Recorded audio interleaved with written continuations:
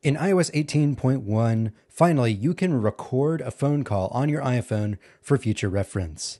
And if your device supports Apple Intelligence, you'll get transcriptions of the phone calls too. From a live phone call or FaceTime audio call, tap the record button in the upper left.